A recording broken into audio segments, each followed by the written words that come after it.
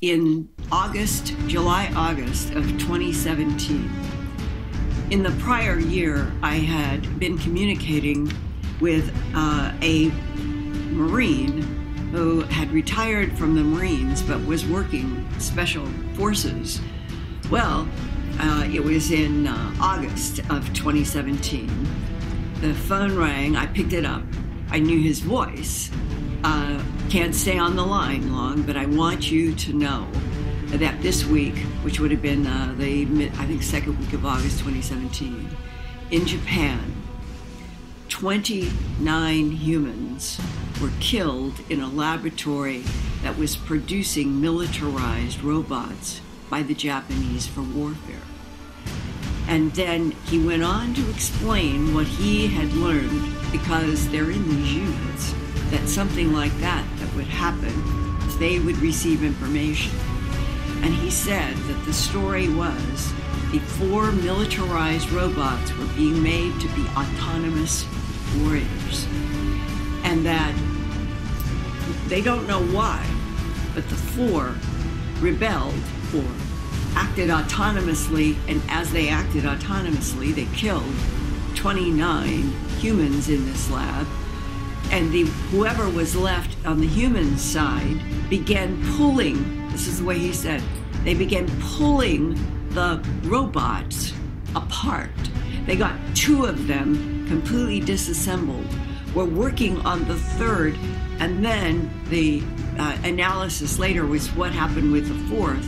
The fourth was communicating with a satellite that they were teaching these militarized robots how to communicate with the satellites to get information on missions. And that the fourth robot was now extending up to the satellite and was searching for information about how to make itself stronger to take on apparently the remaining humans. What did they do exactly to that fourth? I don't know, but I understand they took it apart. Would they ever put them back together? So now, we're up to a point in August of 2017 where I'm hearing a story that is shocking and uh, I, I would say is like a warning that hits you out of the blue. That if in August of 2017, four militarized robots being taught to be autonomous could do that in a lab, it made Elon Musk only uh, two months before, in June, at the Rhode Island Governors Association meeting. There were 30, 33 governors from the United States, and Elon Musk was one of the invited speakers. And when they sat him down in a chair and they started asking him his perspective as being head of Tesla and X, of SpaceX, he said, I think that the greatest problem that scares me the most is artificial intelligence. And he said statements like, people don't understand that the robots, they're not going to need sleep.